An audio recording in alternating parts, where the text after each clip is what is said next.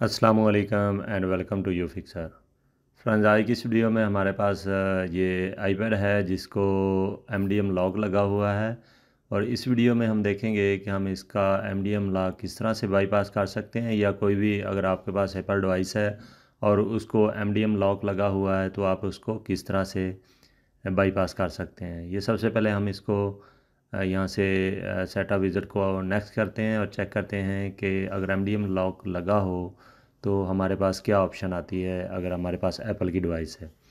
तो यहाँ setup visit को कंटिन्यू करने के लिए हमें वाईफाई नेटवर्क के साथ कनेक्ट करना होगा। तो ये मैंने वाईफाई का पासवर्ड लगा लिया है और यहाँ पर हम इसको कनेक्ट करते हैं और उसके बाद ये आगे नेक्स्ट करते हैं और देखते हैं कि एम डी एम लॉक से हमारी डिवाइस पर क्या एरर आता है।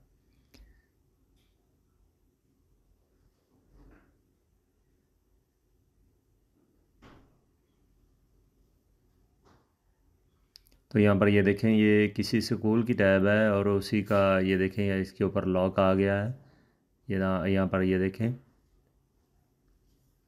ये किसी स्कूल की प्रॉपर्टी है और ये उसकी आईडी के बगैर इससे आगे नहीं जाएगा। यहाँ पर अगर हम इसको नेक्स्ट करते हैं तो यहाँ पर ये देखें जी, आईडी आ गई, इसका लॉगिन पासवर्ड तो ये अगर हम यहाँ पर इसको देंगे तो ये आगे नेक्स्ट जाएगी अदरवाइज़ यहाँ से आगे ये नहीं जाएगी। ये देखें, इसके बैक साइड पे भी लिखा हुआ है। कि ये स्कूल की प्रॉपर्टी है।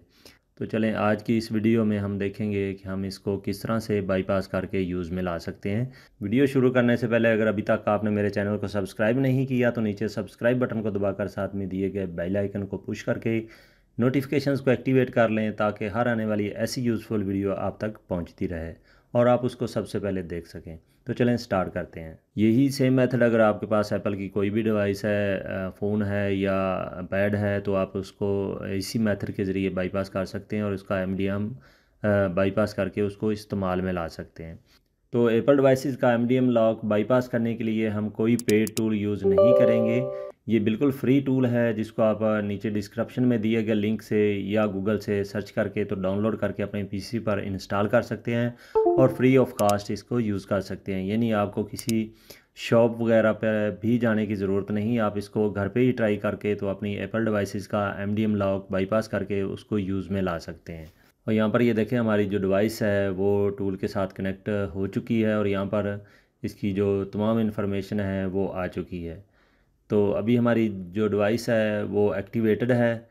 तो इसका जो एम डी लॉक है, इसको बाईपास करने के लिए हमें सबसे पहले डिवाइस को डीएक्टिवेट करना होगा। तो यहाँ पर हमने टूल बॉक्स के अंदर जाकर सबसे पहले इसको डीएक्टिवेट करना है। तो उसके लिए ये डिवाइस को सिलेक्ट करेंगे और स्टार्ट डीएक्टिवेट के बटन को दबा देंगे। और यहाँ पर ये कन्फर्मेशन मैसेज आएगा।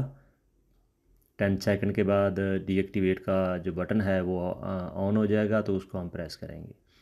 तो यहाँ टेन सेकंड के बाद हम इसको अभी यहाँ पर प्रेस कर सकते हैं। तो ये देखें, हमारी डिवाइस जो है वो सक्सेसफुली डीएक्टिवेट हो चुकी है। अभी दोबारा से हम थ्री यू टूल के ऊपर आई डिवाइस के टैब में आएँगे। और यहाँ पर ये देखें जी, हमारी डिवाइस जो है ये भी एक्टिवेट नहीं है। और यहाँ पर हम एक्टिवेट को दबाएँगे। और यहाँ पर स्किप सेटअप विज़ट और ये एक्टिवेशन दोनों को चेक करके तो ये स्टार्ट के बटन को दबा देंगे। तो ये विद इन हाफ़ मिनट या उससे भी कम समय में ये देखें, यहाँ पर हमारे जो टैब है, जो एप्पल डिवाइस है, उसका सेटअप विज़र जो है, वो बाईपास हो चुका है और ये होम स्क्रीन पे आ चुकी है। और ये देखें, इसका M D M lock successfully bypass हो के ये टैब जो है, ये हमारे इस्तेमाल में आ चुकी है। सेटिंग में जाएँगे ताकि हम इसका मॉडल और वर्जन वगैरह चेक कर सकें।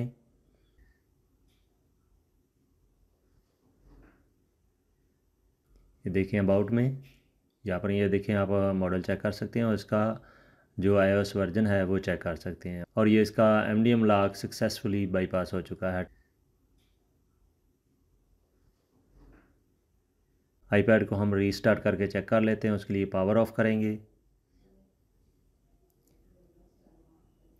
पावर ऑफ़ हो जाने के बाद दोबारा से पावर ऑन करेंगे। तो उम्मीद है दोस्तों, इस वीडियो से आपको एप्पल डिवाइसेस का M D M lock bypass करने में बहुत एलम मिलेगी। मज़ीद यूज़फुल वीडियोस देखने के लिए मेरे चैनल को सब्सक्राइब कर लें और साथ में दिए गए बेल आइकन को पुश करके नोटिफिकेशंस को एक्टिवेट कर लें ताकि हर आने वाली ऐसी यूज़फुल वीडियो आप तक पहुँचती रहे और आप उसको सबसे पहले देख सकें। अपना बहुत सा ख्याल रखिएगा।